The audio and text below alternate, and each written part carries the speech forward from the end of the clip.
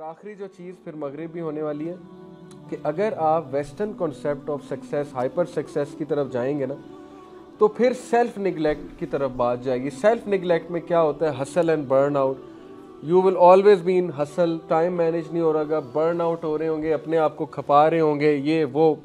Number two poor life style होंगी आपकी। Exercise नहीं है आपकी लाइफ में, क्योंकि टाइम ही कोई नहीं है। अच्छी डाइट नहीं है, क्योंकि टाइम ही कोई नहीं है। जाते जाते मैकडोनल्ड से बर्गर पकड़ लिया, जाते जाते के से कभी पकड़ लिया, कभी हार्डीज टाइम ही नहीं है। क्योंकि वो खाना बनाने का टाइम नहीं है तो आपने क्या करना है? Number three consider self care a luxury के ऐसे लोग जो हैं, वो सेल्फ केयर को एक लग्जरी तस्लीम करते हैं कि नहीं नहीं, ये तो कभी कभी हो गई तो अच्छी बात है। अदरवाइज़ ज़िंदगी तो यही है, खपी रहो खपी रहो। लेकिन अफसोस की बात, वो किस चीज़ में खपे हैं? दुनिया में। भाई, खपना ही था तो अल्लाह के रास्ते में खपते हैं ना, सहाबा की तरह। अगर खपना ही है तो वहाँ पे खपो। लेकिन वो कहाँ खपे हुए, कहाँ बर्न आउट हो रहे हैं दुनिया की तलाश में।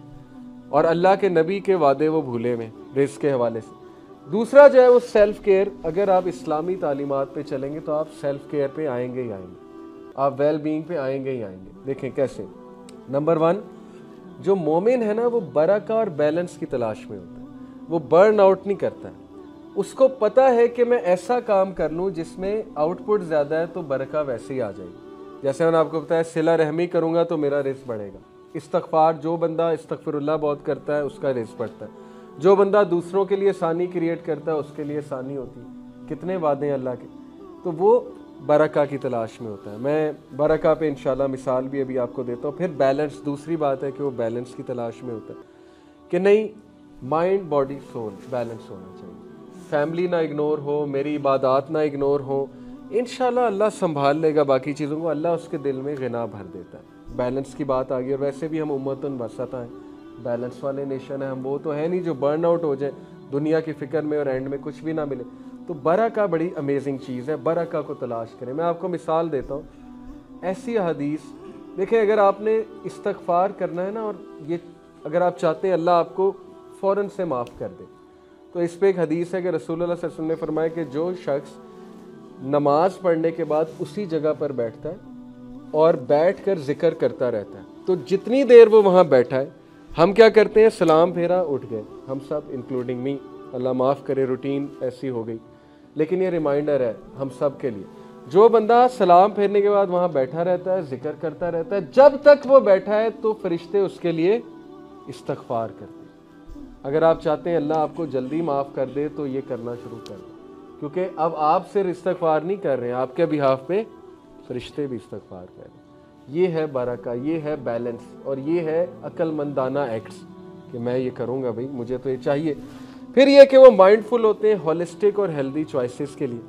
क्योंकि जब प्रेफरेंस दीन है तो फिर प्रेफरेंस ये है कि यार मैं सेहत अपनी मेंटेन करूँ, क्योंकि अल्लाह के नबी का हुक्म है। अल्लाह ताला का हुक्म है ये हुक्म है कि मोमिन को स्ट्रांग होना चाहिए। हुक्म है कि नींद पूरी करो।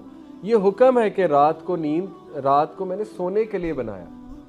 अगर नहीं इस हुक्म पे चलेंगे, फिर खुद ही हल्के पड़ेंगे। खुद ही जो रातें जो जागती है यूथ उनकी शक्लें आप देख लें, वो क्लियरली नज़र आ रहा होता है शक्ल पे।